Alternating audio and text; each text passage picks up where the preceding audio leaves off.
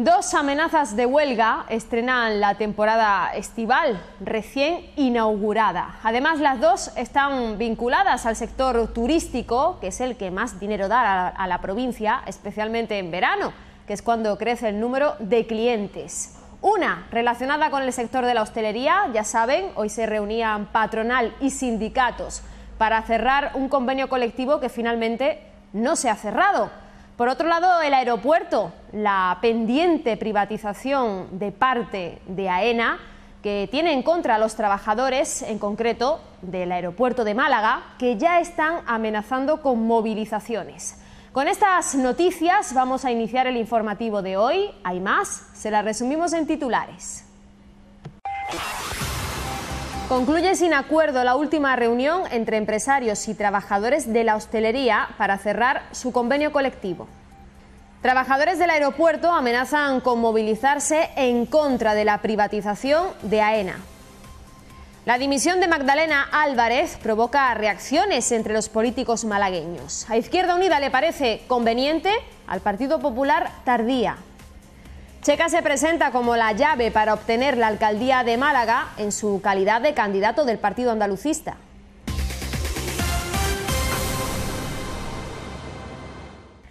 Buenas noches. Otra reunión más que concluye sin acuerdo. Trabajadores y empresarios del sector de la hostelería no han cerrado hoy el convenio colectivo que establece los derechos y obligaciones que deben cumplir ambas partes. Hay una próxima reunión el día 2 de julio en la que esperan acercar posturas.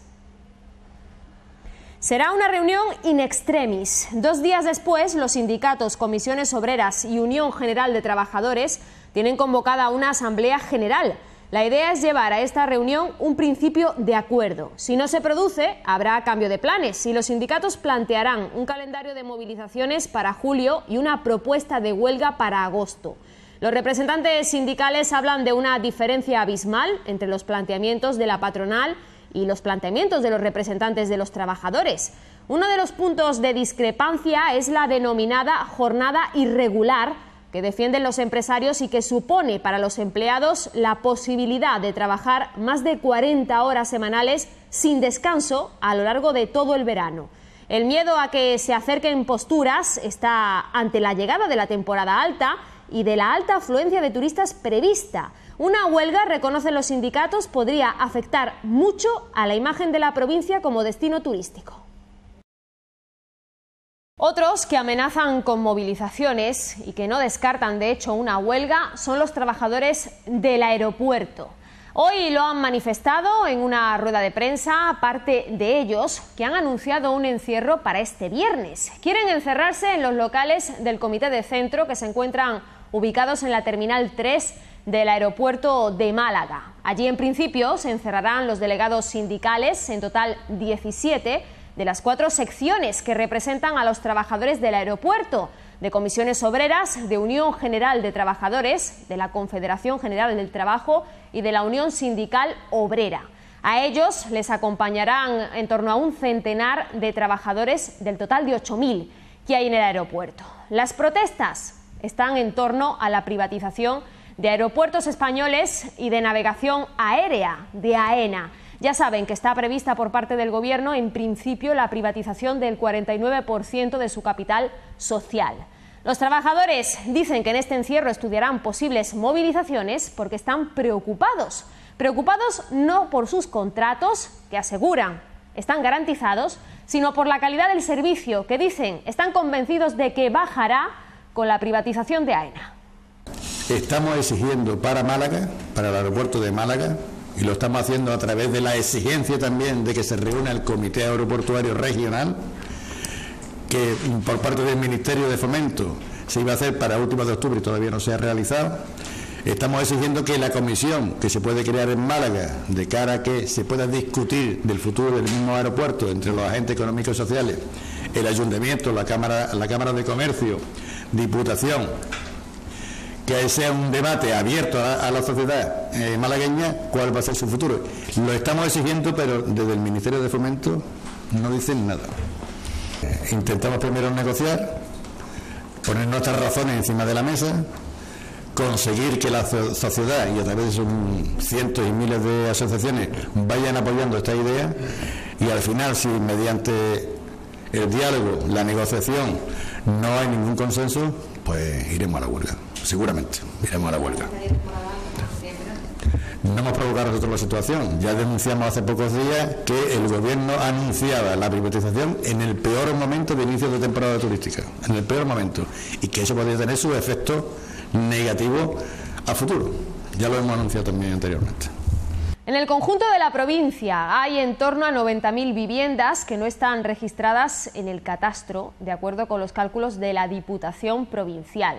Son viviendas, en muchos casos irregulares, que de acuerdo con las normativas regionales vigentes deben estar controladas por el ayuntamiento. De entrada, los ayuntamientos deben tener un inventario, una clasificación de las viviendas que se encuentran en suelo no urbanizable, es decir, generalmente en el campo. El presidente de la Diputación Provincial ha hecho hoy entrega a los alcaldes de 10 municipios malagueños de inventarios de viviendas de estas características.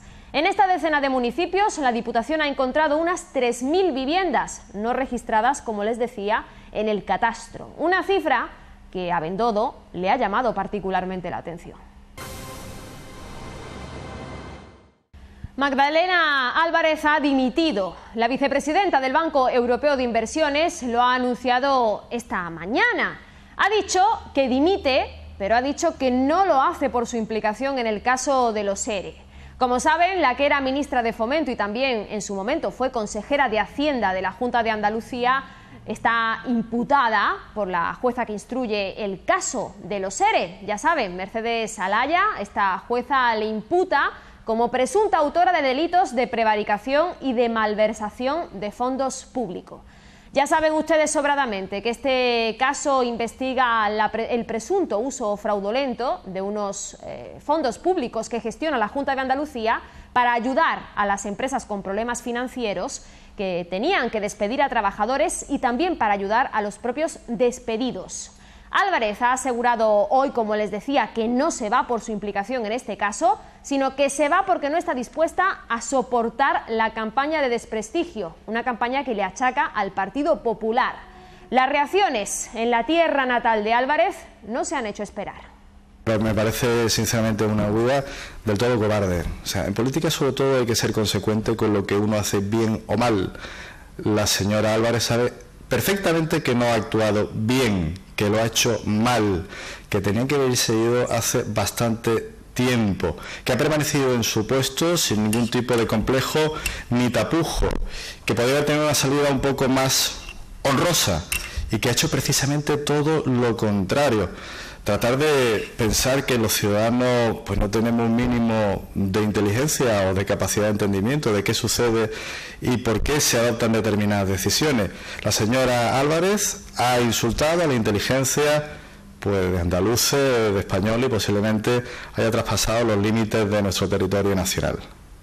Nos parece una decisión correcta y oportuna cuando se produjo la imputación de Magdalena Álvarez sin entrar a prejuzgar eh, lo que será el desarrollo de esa investigación que ahora mismo está en fase de instrucción, ya manifestamos y ya manifesté personalmente ante algunas preguntas y en alguna entrevista y alguna tertulia que desde mi punto de vista, desde el punto de vista de Izquierda Unida, pues la dimisión de Magdalena Álvarez eh, ayudaría a quitar cualquier sombra de duda sobre cualquiera de las actuaciones en las que pudiera intervenir desde su cargo como vicepresidenta del BEI, que no son pocas ni de poca importancia. Ha sido una sorpresa que hoy se ha hecho oficial. El Partido Andalucista ha presentado hoy, como les decía oficialmente, a su candidato a la alcaldía de Málaga, al conocido empresario Javier Checa. Checa se ha presentado como la llave para la alcaldía de la ciudad, para su gobernabilidad y también como la persona, el promotor que necesita la casona del parque para una revolución. Javier Checa es ya oficialmente el candidato a la alcaldía de la capital para el partido andalucista. El empresario ha arrancado hoy su campaña con la presentación de la candidatura en la sede de la formación en la ciudad y ha empezado por prometer una revolución en la política. Esta sociedad hay que hacer una revolución. O se hace una revolución o no llegamos a nada. Señores, Estamos en el siglo XXI, estamos en una aldea global, estamos en, la revolución tecnológica. Es que la revolución tecnológica es muy fácil. Yo puedo estar vendiendo desde Málaga a Japón o comprando de Japón en Málaga. Preguntarle a esa gente que qué posicionamiento tienen. Simplemente al alcalde de Málaga, al concejal. Oiga, ¿y qué posicionamiento tiene la estrategia comercial de Málaga en el mundo. Luego, la propia Diputación con sus mentiras. Esos vuelos que llegan, esas rutas que se abren y que nunca ves dónde está el avión. Se cogen entre amigos, se van a Rusia, dice ahora vamos a hacer la ruta Málaga-Rusia. Y nosotros en los medios oficiales, porque están los medios oficiales, todos contentos, ya tenemos un avión directo Málaga-Rusia. Dice Pedro, yo me voy pues para Rusia también. Pero es que el avión nunca ha llegado. El líder de la formación en la comunidad autónoma, Antonio Jesús Ruiz, ha presentado al que considera el mejor candidato que podía tener el partido andalucista para la segunda ciudad de Andalucía. Ruiz se ha mostrado convencido de que el andalucismo volverá a tener su hueco en la casona del parque. Checa se ha autoproclamado como la llave de la futura gobernabilidad en el ayuntamiento de la capital, donde asegura hacen falta reformas profundas. El candidato andalucista ha hecho un discurso político a mayor escala, refiriéndose a cuestiones más referidas al ámbito nacional que al estrictamente local. A este respecto ha reivindicado el derecho a una vivienda y a un trabajo digno por parte de los ciudadanos. Asimismo ha evidenciado su opción sexual, presentándose como un hombre de 58 años casado con otro hombre para hacer una defensa de la igualdad. La revolución que propone el Partido Andalucista empieza no separándose de nadie, ni inventando falsa independencia, ni contando historias que no existen. Lo primero que quiere es que haya un techo para todo el mundo. Eso tiene que estar inscrito en la Constitución. Toda persona tiene derecho a tener un techo donde dormir, eso tiene que ser una obligación. Segundo, un trabajo decente. Y aquí ya no nos vale, los ciudadanos ya no cuentan la historia como antes. Ahora tú ibas al restaurante y como no había crisis, dabas la tarjeta y firmabas. Ahora tú vas al restaurante y coges la nota y la mira. Ah, te has equivocado, me has puesto dos cervezas. Ay, perdona. Y te quita la cerveza. Los bomberos de Estepona son pocos y tienen pocos recursos. Es una queja que se ha hecho pública a raíz de una información publicada precisamente por esta casa, por Andaluz Televisión, y que ha generado una clarísima polémica que por el momento no cesa. Las condiciones de trabajo de los bomberos en Estepona vuelven a estar en entredicho tras la dimisión el pasado 3 de junio de Francisco Javier Luque, cabo de bomberos que ejercía como sargento en comisión de servicios ante la falta de personal y medios. En el documento remitido al ayuntamiento, el bombero relata la merma que sufre la plantilla, donde asegura que no se cubren las vacantes y lo que es más grave, casi la mitad del personal no dispone de equipo de protección individual ni vestuario adecuados. No es la única que pone sobre la mesa para justificar su renuncia. Lamenta la tardanza en reparar las averías de vehículos, material que caduca y no se repone, e incluso denuncia que no disponen de herramientas acordes para operar en caso de un siniestro de tráfico. Junto a esto, el ahora cabo de bomberos esgrime que se deniega la formación a los efectivos, mermando la calidad del servicio y seguridad del personal unas críticas cuya respuesta no se ha hecho esperar. No ha sido ni la edil del área ni el propio regidor esteponero quienes han defendido el servicio. Lo ha hecho el jefe de bomberos en un informe en el que asegura que la ampliación del horario de trabajo y la reducción del absentismo en el área de bomberos equivale a contratar, dice, al menos cuatro nuevos efectivos, ahorrando aproximadamente 240.000 euros. En cuanto a la falta de material, el jefe de bomberos relata que se tramita la adquisición de nuevo material, como equipo de descarcelación, una bomba urbana ligera, trajes de intervención y medios y útiles de transmisiones. En el documento, por ejemplo, explica que ante la falta de trajes de descarcelación tienen los equipos prestados por el consorcio provincial. Aunque no abiertamente, Borrego admite la inexistencia de trajes adecuados para los efectivos de Estepona, al incidir en que los 22 trajes de intervención que esperan los bomberos estarán en tres o cuatro meses y el vestuario que les falta en un par de meses, tras admitir que la empresa contratada para ello no ha cumplido. En cuanto a las reparaciones, Borrego indica que la gestión en averías ha mejorado sensiblemente al crearse un departamento de gestión y contar con un mecánico. Sobre la formación defiende que ésta se deniega cuando las condiciones del servicio no lo permiten y con el objeto de evitar sobrecostes en la gestión y cuando la actividad no supone un beneficio para el conjunto. Unas explicaciones a medias que rememoran tiempos pasados donde los efectivos de bomberos eran noticia por la falta de medios para desempeñar su labor. Ronda ha acaparado 4 millones de euros de inversión procedentes de la Diputación Provincial en los últimos tres años, más de 40 el conjunto de la Serranía. Es una cuantía la mayor que se recuerda, de acuerdo con el Gobierno del Partido Popular, en el organismo supramunicipal. Con la reforma que se lleva a cabo en el complejo polideportivo de El Fuerte, a donde se está cambiando por completo el césped artificial del principal campo de fútbol de este complejo deportivo rondeño, Diputación ha defendido su nivel de inversiones en la ciudad, que asegura es el mayor que se recuerda, con 4 millones invertidos en Ronda y más de 40 en toda la comarca en lo que llevamos de legislatura. Pues en los que vamos de tres años de legislatura va por encima de los 4 millones de euros, son muchas las infraestructuras que podíamos hablar, desde bueno, el centro del vino, la avenida de Málaga, todas sus fases, en el plan de inversiones que ronda el plan de inversiones de, este año, Ronda recibe mm, por encima de los 500.000 euros y creo que acertadamente pues, pues la alcaldesa y el equipo de gobierno lo va a destinar a rematar la avenida de Málaga y también eh, el Tajo, ¿no?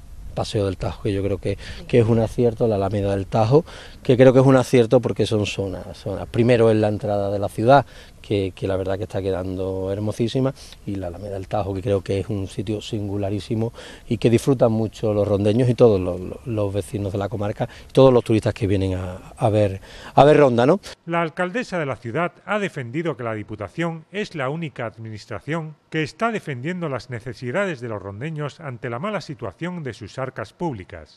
Significa esto que estamos ante la administración que más nos ha apoyado, que más ha invertido en nuestra ciudad, en la historia de la democracia. Si no llega a ser por Diputación Provincial, aquí no vemos inversión, porque nuestras posibilidades económicas eran escasas y porque además la Junta de Andalucía no ha invertido en nuestra ciudad cero euros. Con lo cual yo tengo que agradecer profundamente a Diputación Provincial, al equipo de gobierno de Diputación Provincial y al presidente Elías Bendodo su implicación con la ciudad y su implicación con los ciudadanos de Ronda. Y a partir de aquí venimos a cerrar también el plan de inversiones de este año que hemos presentado ya, que son 550.000 euros, 300.000 van para la finalización de la avenida Málaga, que ya saben ustedes que mm, se han sometido a dos fases de obra, vamos a por la tercera y última y que tendrá un presupuesto de 300.000 euros. Y la segunda obra será de 250.000 euros de, de, inversión de presupuesto y vamos a arreglar una parte de la Alameda del Tajo que falta le hace. En el conjunto de la comarca, la institución provincial invertirá este año 9 millones de euros a través de diferentes planes de actuación, como el Plan de Inversiones Productivas o el Plan de Asistencia y Cooperación que se destina de manera exclusiva a los municipios con menos de 25.000 habitantes. El vicepresidente ha recordado que en 2013 se transfirieron a los municipios de la comarca de Ronda casi 14 millones, un 97% más que en 2010 y un 116% más que en 2009, con el anterior gobierno socialista en Diputación. 3.000 euros para gastárselos en un solo día. Los ha tenido y se los ha gastado la ganadora del concurso Sueña por un día, una iniciativa que promueven los comerciantes de Vélez precisamente para eso, para incentivar las compras en el pequeño comercio. En esta ocasión se celebraba la duodécima edición. Poco podía imaginarse en sí y Errezuelo Quijano que la llamada recibida el pasado viernes 20 de junio era para comunicarle que era la ganadora del Sueña por un día. Desde ese momento, las cuentas para cuadrar en los comercios adheridos a la ACEF, el gasto de 3.000 euros que hoy ha hecho realidad. Sonrisa compartida con sus hermanas Luisa y Mari Carmen y su sobrina nieta Celia. Es la primera vez que consigue un premio, emocionada por la experiencia que ha podido vivir. Es que yo no me lo creía porque me estaban diciendo, ¿qué de la Asociación de Comerciantes? ¿Qué de la Asociación de Empresarios? Y yo decía, pero bueno, ¿y qué pasa? Pero Ceci, para ti, es que, es que te ha tocado el premio, que seguro que te ha tocado el premio. Y yo decía, pero es que no puede ser, pero ¿a mí? ¿Cuándo? ¿Por qué? ¿Cómo? No, no, no lo creía, no daba crédito, no daba crédito. Cuando hablaste con Manolo te dijo 3.000 euros para gastar en un día. Entonces fue cuando ya empecé mm, a chillar y a gritar y a gritar y a gritar, ¿verdad Manolo? Mucho, mucho, ya todo el mundo chillando y muy bien, muchos nervios. No, sé yo cómo se puede eh, hacer esa cuadratura para que 3.000 euros se puedan gastar en un día. Sí, se puede hacer la cuadratura, y pero rápido, rápido, rápido, rápido. Tú dices, esto para esto, esto para lo otro, para lo otro, y sí, sí, sí, sí, sí. sí. Cuéntanos, ¿cómo lo especificado? Mira, 500 mm, euros en gasolina, 500 euros para invitar a los amigos y a los compañeros. Eh, después he repartido en cosillas que quiero colaborar en unas cuantas cosillas. Y voy a comprarme alguna ropita para mí, unos zapatillos, sí, sí. Veo que vienes con las hermanas, ¿no? Que... Sí, sí, sí, vengo con la hermana y con una chiquitilla, mi sobrinilla nieta, para que me van a acompañar hoy porque los nervios habrá que echarlo de alguna manera para adelante. Claro, te ha llamado mucha gente felicitándote. Sí, oye, y todo el mundo me da la enhorabuena y todo el mundo me alegro, me alegro, me alegro, me alegro, me alegro. Y lo dicen de corazón. Sí, y estoy muy contenta, muy contenta. y que tenga un premio de 3.000 euros apoyando al pequeño comercio, al comercio de Vélez Málaga, eso es muy importante. Es muy importante, sí, sí, sí, porque estamos en, un momentillo de, de bajoncillo, pero ya vamos a superarlo esto, verás tú, que entre todos vamos a poderlo y, superarlo y ya está. Y hoy como una reina, ¿no? Te llevan, te cogen. Eso me dicen, tú hoy reina por un día y me hace falta ya quedarme un poquillo más tranquila. Sí, pero ahora mismo estoy muchas emociones, muy nervioso, muchas, emociones juntas. Pues relájate y disfrútalo. Eso me dice todo el mundo, relájate. Yo vengo ya con mi valeriana tomadilla y todo, pero vaya, ¿qué vamos a hacer? Nunca, nunca, pero yo decía, pero si es que es la primera vez que a mí me toca algo, jamás, jamás. Cuando me toca en la 11, porque de cuando en cuando compro, y me toca la de vuelta, yo eso lo celebro. ¡Ay, mira, esta vez me ha tocado la de vuelta! Y cuando ahora me he encontrado con 3.000 euros, son mucho dinero es que medio millón de pesetas. Desde la Asociación de Comerciantes y Empresarios de Vélez Málaga, contagiados de esa felicidad en la fidelidad de las compras en el comercio tradicional, volver de los 3.000 a los 6.000 euros en el ánimo de la asociación. Sí, es sorprendente porque mira que son 12 ya, 12 personas las que le ha tocado el premio pero ella sí es que tiene una emoción y tiene un dinamismo con el premio que es sorprendente. ¿eh?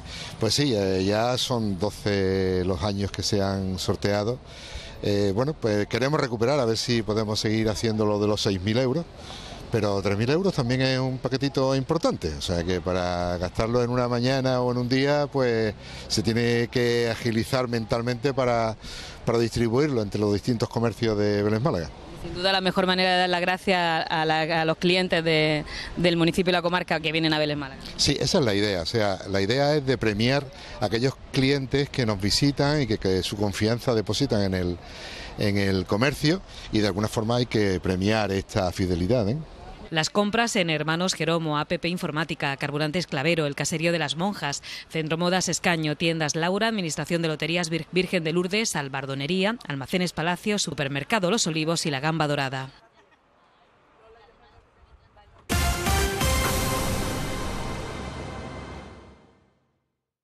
Tercer fichaje para el Málaga Club de Fútbol, el de Agustín Cousillas. No está cerrado, pero está pendiente de cerrarse, de acuerdo con las informaciones que ya está publicando el diario Olé. De acuerdo con ellas, Cousillas, el guardameta, estaría esperando a que llegara el día 30 de junio para desvincularse del Tigre, el club donde juega, y centrarse en el próximo club, el de Martiricos. Para los aficionados, este, para los aficionados y para los no aficionados, este sería el tercer guardameta del Málaga, pero el temor, y eso sí, para los aficionados al club, es que sea el sustituto de Willy Caballero. Y hasta aquí el informativo de hoy. Les recuerdo los contenidos están disponibles en nuestra página web www.ondaluzmálaga.tv. Como siempre les invito a continuar viendo nuestra programación y a no perderse su cita con la actualidad.